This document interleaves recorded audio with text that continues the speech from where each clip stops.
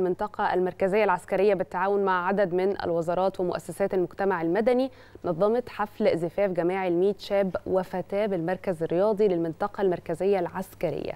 في إطار حرص القيادة العامة للقوات المسلحة على دعم المجتمع المدني وزيادة أواصر التواصل الاجتماعي.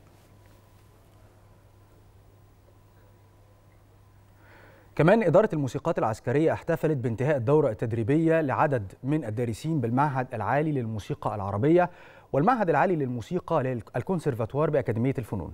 الاحتفالية تضمنت فيلم تسجيلي قصير عن إدارة الموسيقات العسكرية والدورة التدريبية اللي تم تنظيمها.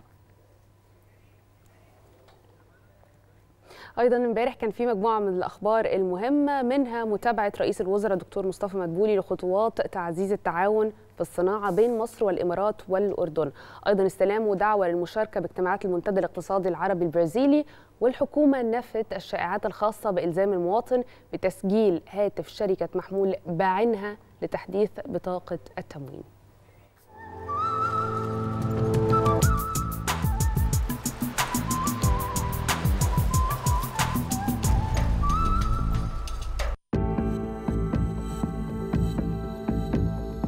في مجموعة من الأخبار المهمة اللي حصلت امبارح منها الاجتماع اللي عمله الدكتور مصطفى مدبولي رئيس مجلس الوزراء لمتابعة الخطوات اللي تم اتخاذها في ملف تعزيز التعاون المشترك في قطاع الصناعة ما بين مصر والإمارات والأردن.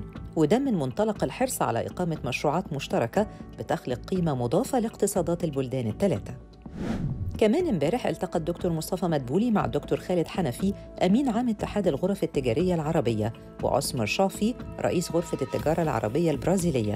وتسلم رئيس الوزراء دعوة للمشاركة في اجتماعات المنتدى الاقتصادي العربي البرازيلي اللي هيعقد في ساو باولو في يوليو اللي جاي امبارح الحكومة نفت الشائعات اللي ترددت حول إلزام المواطن بتسجيل هاتف شركة محمول بعينها لتحديث بطاقة التموين. وزارة التموين قالت إن ده مش حقيقي وإنه عملية التحديث متاحة من أي هاتف محمول لأي شركة. المهم إنه يكون رقم التليفون متسجل باسم رب الأسرة في البطاقة المراد تحديث بياناتها.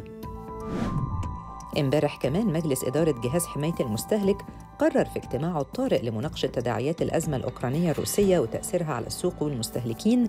تسليم كل من سدد كامل قيمة سلعة معمرة أو سيارة تم حجزها قبل 12 إبريل السابق دون تحمل أي عبء إضافي.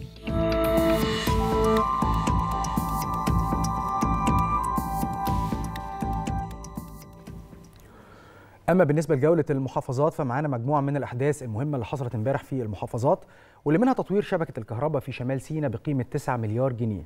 وكمان بدء حملة طرق الأبواب للتطعيم ضد كورونا في اسكندرية وأخبار تانية من الإسماعيلية وأسوان وكفر الشيخ.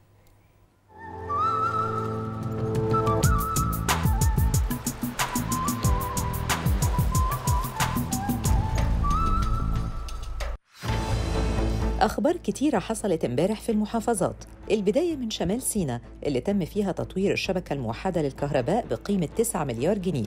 وقال محافظ شمال سيناء الدكتور محمد عبد الفضيل شوشة إن وزارة الكهرباء بتقوم بتنفيذ محطة كهرباء في العريش ومحطة في الشلاق بالشيخ زويد واللي هيساهموا في تغذية المشروعات بالطاقة الكهربائية. في الإسماعيلية تم افتتاح طريق صوامع القمح بأبو صوير واللي بيساهم في تيسير حركة سيارات نقل القمح إلى الصوامع. والطريق طوله 1.1 كيلو متر وتكلفته 9.3 مليون جنيه. في أسوان قال الدكتور إيهاب عماد حنفي وكيل وزارة الصحة إنه تم تنظيم قوافل طبية على مدار يومين شملت مختلف التخصصات الطبية والعلاجية والتوعوية وتم إجراء الكشف الطبي على 1012 مواطن بالمجان.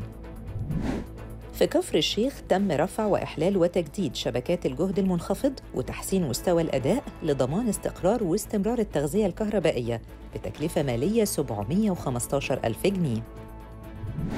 في الإسكندرية تم بدء حملة طرق الأبواب للتطعيم ضد فيروس كورونا واللي بتستهدف استكمال تطعيم 4.2 مليون مواطن من قاطني الإسكندرية وزوارها واللي أعمارهم 12 سنة وأكثر